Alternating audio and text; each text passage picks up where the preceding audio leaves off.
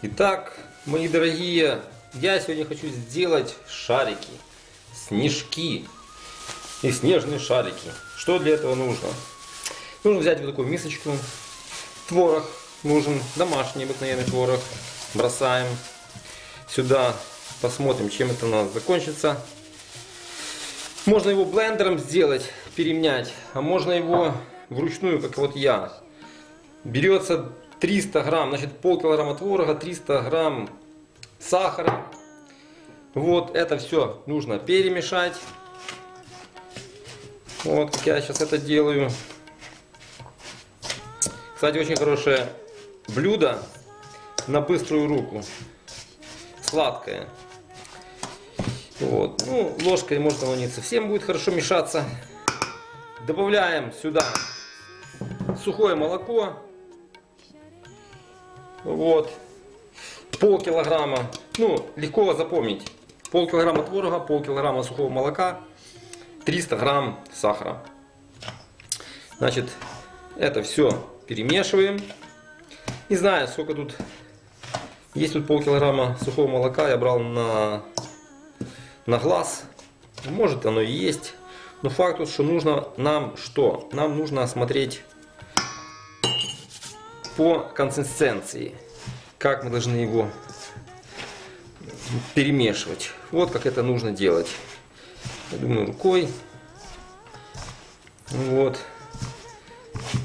Создать нам нужно такое вот тесто. С этого теста мы и будем лепить наши снежочки. Снежки или сладкие шарики. Вот. Видите, какое оно уже немножко получается. Но интересно, но даже такое немножко густоватое выходит. Вот. Видите? Но желтенькие, красивые. Это, это такое сухое молоко. Видите? Вот. Можно было творог блендером смолоть, сделать его однотонным, однородным. Но знаете, я подумал, что если потом будет стружка, он обкатывается, это не будет видно и заметно. Вот, вот получается вот приблизительно вот такое вот тесто. Вот, вот такое вот тесто. Видно, видно. Видите, какие руки у меня. Вот. Все. Вот это дело выходит такое вот. И его мы отправляем куда? Отправляем мы его. Мы отправляем его куда? Мы отправляем его в холодильник. О! Вот так. Вот. И крышечкой убрали в холодильник. Итак, что мы делаем дальше? Дальше я беру масло. Ну, не знаю, сколько тут масла. Грамм, наверное, 150-200. Беру вот такую вот. У нас продается сгущенка вареная, алиска. Ну, не знаю, насколько это сгущенка, но для начинки пойдет. Видите, даже крышечка открывается. Здесь я держу свои орешки, поджаренный арахис. Поджаривать самому выгодно. Э, дешевле выходит. Вот, что для этого нужно? Это мы будем расталкивать. Значит, что мы делаем? Э, ну, я показал составляющие, что для этого нужно. Сейчас пойду растапливать э, значит, э, масло. Добавлять буду сюда сгущенку. И орешки буду готовить отдельно в ступке. Вот, вот такие пока наши движения будут. Все. Так, растопив топленое масло, вываливаем. О, сюда вот это вот все, всю эту сгущенку вареную. И будем с него делать начинку.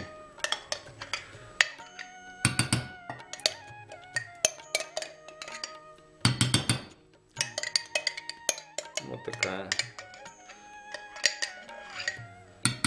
Здесь у нас сколько? 530 грамм. Не знаю, насколько это правда. Топленое масло растопил.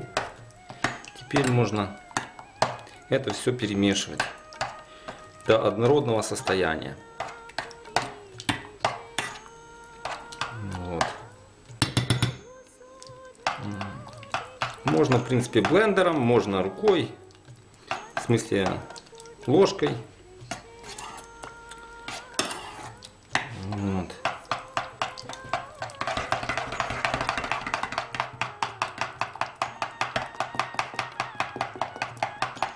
Видите, даже рукой это все быстро делается.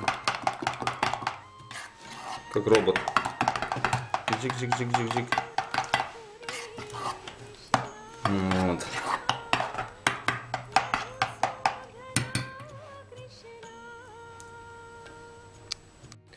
Отдельно, значит, делаю орешки, добавляю. Вот видите, здесь сюда входит где-то ну, 500 грамм, полкилограмма. Я что беру? Я их пожарил. Наверное, две жменьки может пойдет. А может три жменьки пойдет. Вот, наверное, три жменьки пойдет. Вот на такой вот, на такой вот крем, да? Мы их можем даже в супочке чуть-чуть придушить, покрышить, помельчить. Да? В принципе, нам не нужно до самой крошки. Нам нужно, ну, чтобы оно было мелкое.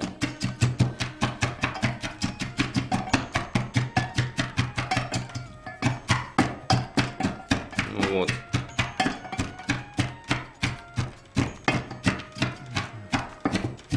Оно получится такое что-то среднее. И мелкие орешки получатся, и, и средние орешки. То есть разные. М? Можно блендером, но у кого нет, у меня, как, как правило, сейчас блендер, чтобы там с двигателем отправили на ремонт, на гарантии он стоит. Его сделают, я смогу тогда блендером это все делать. Вот такие орешки получились, да? Вот. Я их сюда мешаю. Вот. И вот такой вот делаем замес. Вот такой делаем замес.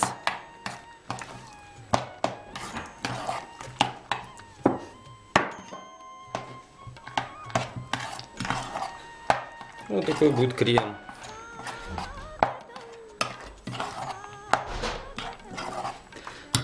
Так как здесь есть масло, и сама гущенка немножко такая густоватая была, да, мы тоже его отправляем в холодильник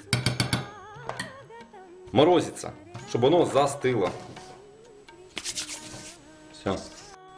Теперь самое главное лепление, да, нужно их форми формировать, эти снежки, да.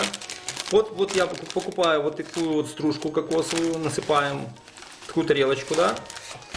Всегда выгоднее покупать большими упаковками, чем маленькими. Все это замерзло, я пару штук сделал, сейчас показываю, как это будет делаться. Я беру, делаю так.